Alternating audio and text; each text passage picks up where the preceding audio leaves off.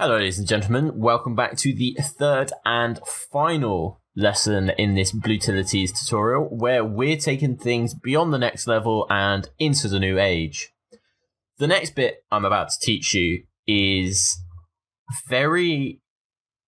I'm not sure what the word is. You have to be extremely careful because, yes, it's handy. Yes, it's really awesome. But if you're not careful, you can cause some serious issues in your project. You'll see why when we get there. So, in this lesson, we'll be looking at giving the editor essentially a brain. So, this means that the editor will be able to think for itself from what we teach it and act accordingly you might be thinking at this point, whoa, you know, you said be careful. Now you're talking about giving the editor a brain. You're thinking some Skynet stuff. No, no, no, not not that advanced. It's different issues we're looking at, but it could be the basis of Skynet if you're smart enough to be able to get this to work.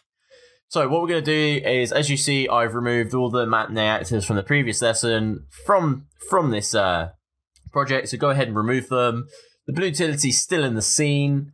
And when we open up the Blutility, I again have moved everything, removed everything rather, including the variables, apart from our original event. So go ahead and do that. Remove everything apart from this one event. Um, and again, even if you delete, it's not the end of the world. Just create a new one and call it whatever you want. We're going to call this one start. Okay, and you'll see why in just a moment. So, giving the editor a sort of fake brain is going to have to be done on a on a tick, for example. So you know every frame it's checking something, but you can't run ticks as a Blutility. This is a failsafe run done most. Oh, well, I assume anyway, done by Epic to make sure you don't blow the project up, you don't blow your computer up, because some people could have some crazy stuff running on a tick, and if it's running on top of the editor, it could quickly drag everything down and give you a bad time, you know. So what we're going to do is we're going to be using Tick's best friend called a timer to fake a tick, essentially. Basically, just trick the editor into saying, oh, look, you know, I should be checking this every frame. And obviously not using the tick. So, we're going to need three events here, three Blutilities, which is start, the thing we want it to do, and then stop. And stop is the important one because the way the way we're coding this is it won't stop until we tell it to stop. Okay. Which you could probably guess already what the problems would be. You know, it would be constantly firing, so that's constantly eating up resources. And if you're doing something that increments, then, you know, it's just going to keep eating memory and memory until, you know, your computer's blown up, your house is blown up, your family's all dead, your pets are like, why did you do this? So we have to stress some caution here. So go ahead and what I'm going to do just to save some time is copy this event twice. As you can see, they're not calling editor, so we're going to set call calling editor. So start content and stop. Right, so just a quick thing about these events, just explaining how this is going to work. Content, we're never going to fire in the editor ourselves. This is something that this Blutility will fire itself and it will do all of that, but we never fire it. The reason it's callable in editor is because this is the only way that the start Blutility is going to see this event to fire. Trust me, I've been down that road. The only way that the start event will see this contact content, sorry, event is if it's callable in editor. So we're gonna, that's why that is as it is. So obviously the basic flow is going to be start, which is going to set our timer off, the content, which is what the timer is going to do, and then stop, which obviously stops everything. Excellent. So on the start event, we're going to set timer. Make sure you select set timer by function name because set timer by event causes some issues. So the function name is going to be called content. Make sure it's spelled exactly case sensitive as this event here. So content, content. If if you, you know you spelt it weirdly and can't get it just right, make sure you can copy the graph node name here and then just paste it in here.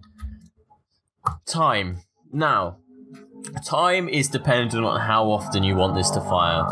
For our example, we're going to be running it every 0.1 seconds. Um, I would not recommend going faster than that because you would literally be spamming unbelievable amounts of data to your blueprint and to your editor and to your engine, to your computer. You know, you don't want your family to die in a massive explosion and everything, as we previously discussed.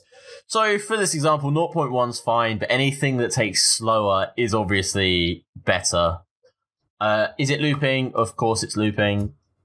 And once you've done that, on this return value, right click, promote to variable, and call this timer. This is so when we end it, we know what timer to talk to.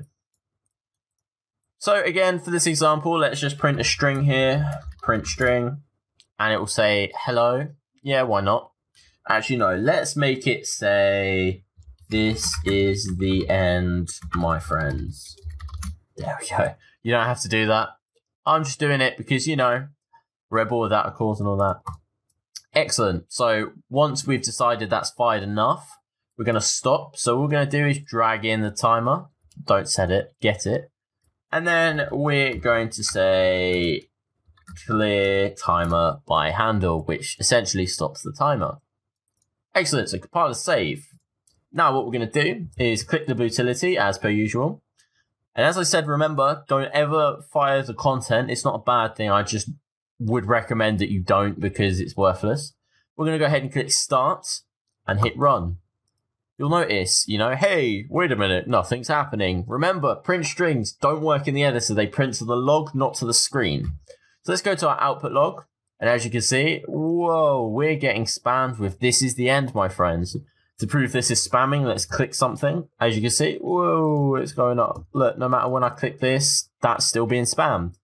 So what we're going to do now, you know, to not blow up the house, is select utility and then stop. And if by magic, as you can see here, it's now stopped. Hopefully this gives you the idea of running tick, well, a fake tick in the editor. And what we're going to do now is uh, show you how we can start to give it a fake brain. All right. So you don't have to do this part. I'm just showing you as a, hey, look, that's pretty cool. So this is going to be pretty dangerous uh, in terms of performance, but it's just an example. Okay. So we're going to do once. And then we're going to get all actors a class like so. Obviously, the do once no, make sure this only fires once, because this is firing 0.1 seconds every time. It's making sure, well, wait a minute, let me finish first. Because obviously, we don't want to ruin performance too much. Okay, so what we're going to do is we're going to set a specific value for our point lights, I guess. Why not? Every time we spawn one. So get all lights as a class, point light, and then for each loop, as we've said before, we're going to set their color to pink. Why not? Set color. Now let's set it, set it to purple. You know, the good old could say it's purple. Let's go ahead and do that now. So purple, like so. And then, do we want to do anything else to them or just set their color? Let's see what we can do. Let's do something nice. Um, let's let's go a bit. Uh, let's see. Okay, just color will be fine. Right, so once it's set the color, we're gonna say you can reset now. Why not? If you wanted to expand this, you could get all actors of class and then make sure compare it to a local array. Make sure that you know there's there's actual change in the array before firing this code, but for this example, you know, it's a no frills. Hey, look, this is pretty cool. So what we're to do is go ahead and run the Blutility now. Actually, no, before we do, we're to drag a point light in. So you can see they spawn as white lights. Vision streams of passion. Right, so they spawn as white lights. Awesome, we'll leave one in the scene. Right, so click the utility, select start, and click run. As you can see, the existing one has gone purple. Let's drag a new one in. It's white. Now it's purple. It's white. Now it's purple. Remember to hit stop. That's all like, I can't stress that enough. Remember to hit stop. And so when we drag a new one in, it's now white. Excellent. This was very a quick, you know, quick look. But hopefully it shows you, you know, hot diggity dang, you can do some cool stuff with Blutilities given it a fake brain, you could make it pretty much be your assistant in making a game. It can make sure everything's set up to specification. It could replace actors for you.